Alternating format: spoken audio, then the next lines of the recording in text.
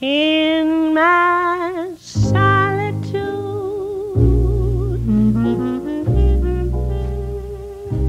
You haunt me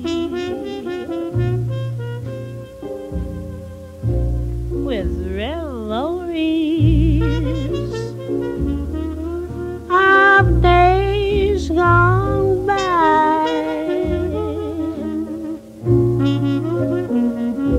In my solitude.